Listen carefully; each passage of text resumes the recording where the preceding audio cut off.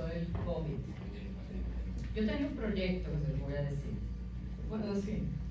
Yo tenía un proyecto porque a mí me tienen los toldos azules hasta aquí. Y a mí se me ocurrió hacer este proyecto de yo ir a dormir en seis casas, en seis municipios distintos con toldos azules y contratar a Guapa Televisión y a este señor, Peñón, ¿qué se llama él? David Becknell. David Becknott, el de Estados Unidos, Ah, sí, sí, para que me fotografiaran, yo comiendo con ellos, durmiendo allí, yo allá en mi almohada, ¿no?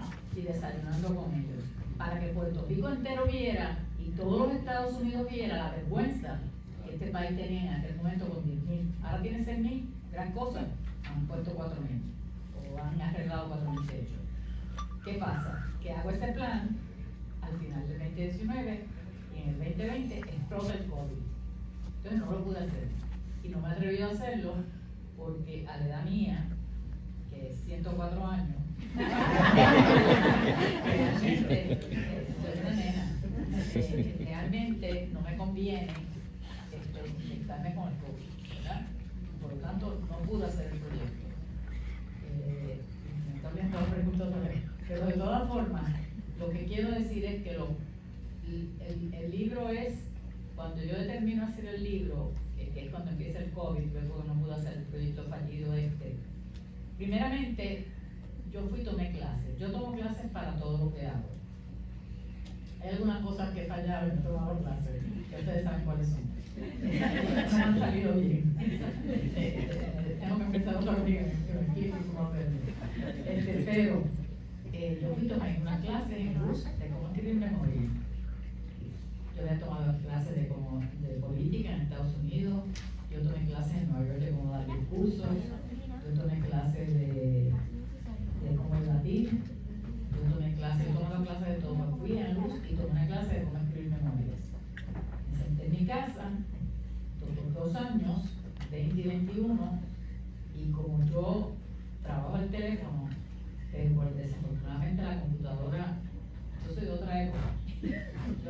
La, me las tienen preciosas, una en casa y una en mi, ser la que la compra. Este, yo las pago, pero la compra. Y entonces, pues están allí, pero yo lo hice a mano. Entonces, dice, yo escribí, quise transcribir, después yo corregía, yo escribía y transcribía. Y entonces este, se las di a, a varias personas para las corrigieron, no me corrigieron nada hasta que vino Amalia Yush y como la Real Academia Española quitó los acentos y a mí me los acentos, me lo quitó todo. Así que el escrito no tiene acento, pero yo sigo poniendo acento, porque a mí me gustan los acentos. Si los españoles no quitan, los acentos, ese es un problema de ellos. Pero, no tiene acento. Entonces, la contestación a la pregunta, para ser más breve, porque he ido alrededor de ella, es que es un reflejo de personalidad, digo yo.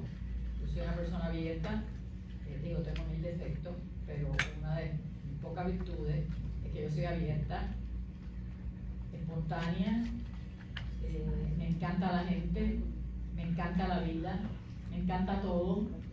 Este, he sufrido muchísimo, he disfrutado muchísimo también. He tenido yo no sé cuántas enfermedades. eh, ahora este, algunas están en el libro. Ahora parece que me tengo que hacer otra, otra intervención. Este, y entonces mi hermana me dijo, usted ha dado muchas este, anestesias, se están olvidando las cosas,